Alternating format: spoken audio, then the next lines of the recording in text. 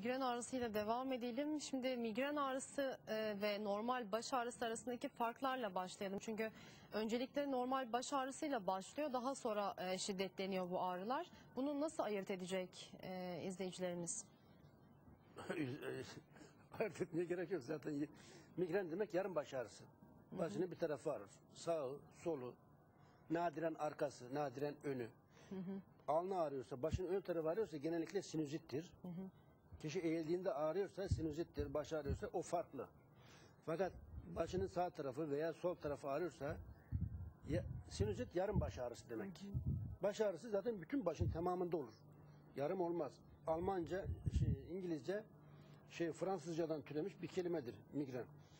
Almanya'da yapılan bir araştırmada Alman Sağlık Bakanı yapmış olduğu araştırmada kadınlarda yüzde 16, erkeklerde yüzde 6 oranında migren vakası olduğu yani ortalama yüzde 10 yani Türkiye'de kaç milyon 70 milyon insan var 7 milyon insanda ortalama migren rahatsızlığı var demek.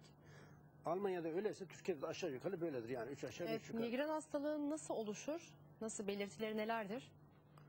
Başın ağrısı o zaman görürsün nasıl oldu böyle başın Yani ağrısı. sıkıntı, stres, Kafana e, duvara vuracakmış iş. gibi olursun. Baş Sonuçta herkesin bir yaşantısı var. Hani Tabii. işteki Hayata stres, sıkıntı küser. vesaire.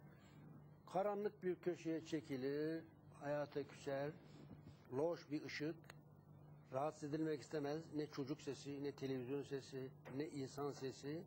Karanlık bir yer, sakin. Onun nöbeti, migren hastasının nöbeti geldiği zaman asla rahatsız edilmemeli. Edilirse agresifleşir, gerilir, gerilir ve patlar. Tehlikeli patlar. Yani ortalığı duman eder. Bu nedenle migren hastasını rahatsız etmeyeceksin. O nöbeti geçene kadar sakin bir köşesinde ne istiyorsa onu yapacak. Nöbeti geçtikten sonra problem değil. Çünkü o anda agresif, daha agresif, daha tehlikeli olabilir.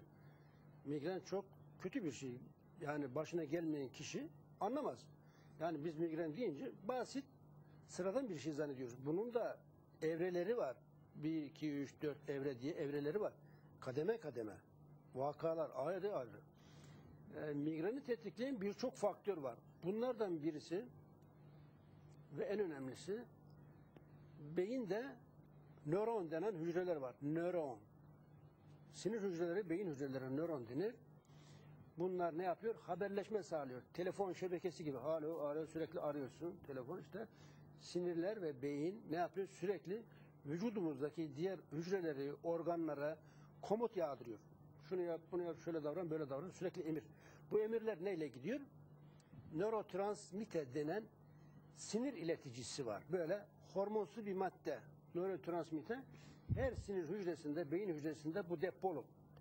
Bu şuna benzer. Bilgisayarın başına oturuyorsunuz, mail atıyorsunuz. Şurada şu kadar getir, bundan bu kadar getir, şunu getir, bunu götür vesaire sipariş veriyorsunuz veya bir şey istiyorsunuz. Aynı mail atmak gibi bilgisayar. Beynimiz saniyede milyonlarca nörotransmitter atıyor. Milyonlarca ve bir toron, bir nörotransmitter yani sinir ileticisi, sinir habercisinin hedefe varması eee saniyede 2 metre yol alıyor. Bazı nörotransmitterler, bazı tran, nörotransmitterler saniyede 12 metre yol alıyor. O kadar hızlı hareket ediyor yani. Beynimiz milyonlarca nörotransmitter salgılıyor ve bunlar saniyede hedefini buluyor. Saniyede. O kadar hızlı yani. Saniyeden daha hızlı. Eğer yakınsa mesela ki sinirler, sinir hücreleri birbirine yakındır. O zaman ne demektir? Saniyenin binde biri kadar bir zamanda binde biri kadar. O haber ona ulaşıyor. Mesela siz bir şey hatırlamak istediniz. Geçmişinizde, çocukluğunuzda bir anı hatırlamak istediniz.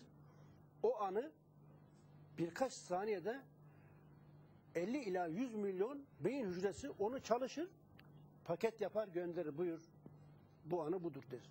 Resmi ortaya sunar. Öyle mükemmel bir çalışma var yani beyinde.